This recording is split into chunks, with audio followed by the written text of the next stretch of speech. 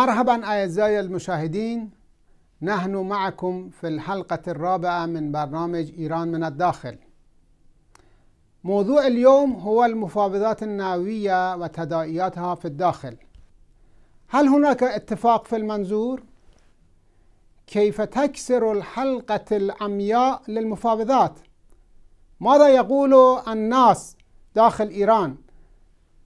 ماذا يقولون عن البرنامج النووي للنظام؟ لكن رغم كل هذه المعاناة فإن إرادة الشعب والمقاومة الإيرانية هي إسقاط الدكتاتورية الدينية سواء إن امتلكت قنبلة نووية أو لم تمتلكها وهذا ما سيتحقق حتما. نحن على اتصال من إيران مع علي من مشهد. مرحبا سيد علي. Hi, I'm Ali, a university student from Iran.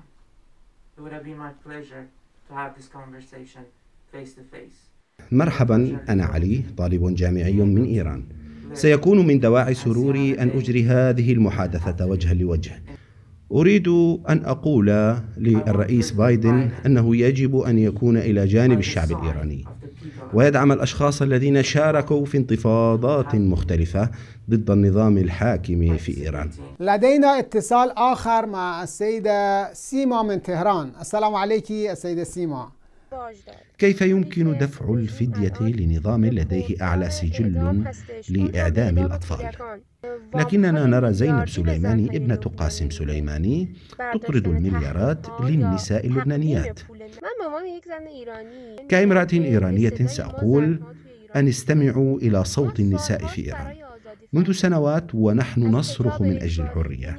سئمنا الحجاب الإجباري والديني ومن كوننا مواطنين من الدرجة الثانية.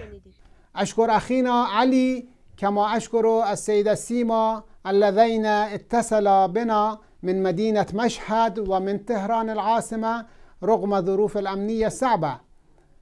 نأمل أن تكونوا قد استمتعتم بالبرنامج اليوم. وداعا ولقاؤنا حتى برنامج آخر.